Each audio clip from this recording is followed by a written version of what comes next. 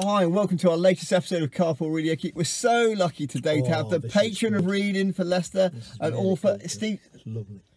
Steve Skidmore. Steve, what are you doing? I'm eating custard. What, why are you eating custard? We're filming. Yeah, but it's it's my new book. It's called Killer Custard.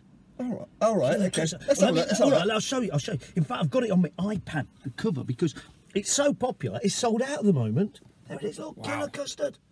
Wow! It's all about a dinner lady who arrives at school, and instead of making custard that the kids eat, she makes custard that eats the kids. And the teachers, and the teachers, and the mm. teachers. So, do you fancy? Do you fancy this? The, the problem is, if you get this wrong, you will be turned into a custard monster. And I've got the custard. Oh, I'm not going to get this wrong. I'll be all right. If you get it wrong, Okay. okay, Yeah, yeah, one pound nine, very expensive. okay, so killer custard. This has been voted in the shortlist for the best book in Leicester. Wow. Kids love it. It's great. I love this book. So it's lunchtime at your school. You are queuing up and see there's a new cook behind the counter. What's for pudding, you ask? Apple pie, the cook replies. What do you want with it? Ice cream or my special custard?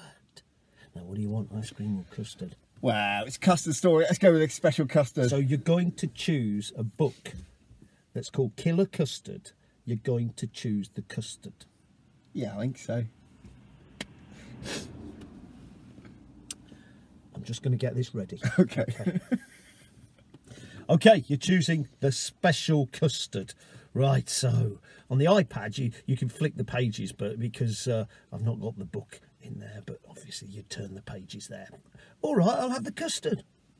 all right, I'll have the custard. What's special about it? What's special about it? Oh, you'll find out soon enough. Laughs the dinner lady. As she drops the custard onto your dish, you think you hear the custard growl. You're getting worried, Mr. Page. little bit worried, yeah. Mm. Telling yourself not to be so stupid. Don't be so stupid. You head towards a table where your friend Sam is sitting. As you place your tray on the table, you hear the growling noise again. Two choices investigate the noise or ignore it. If I investigate it, something's going to get me in it. So I might, I'm, I might ignore it. I'm just going to ignore it. Oh, okay then. You're going to ignore it. So you ignore it. We now go back to 21 because you're ignoring the noise.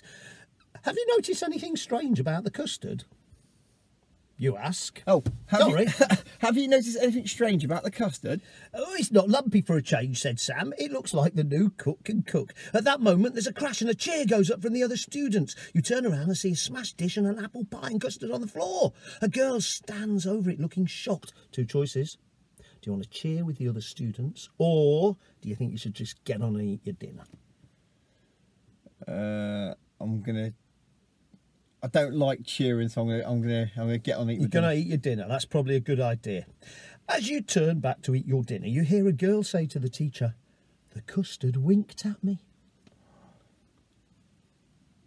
You laugh. What a crazy excuse, eh, Sam?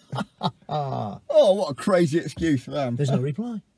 You look up and see Sam has disappeared. You glance around, puzzled. His dinner tray's still there, but there's a large pool of custard on the table. Suddenly, burp. You're amazed. You can't believe your ears. Did the custard just burp? Two choices. Get out of the dining room or investigate the custard. I think I'm gonna investigate the custard. Investigate, that's a good idea. You're going to investigate the custard.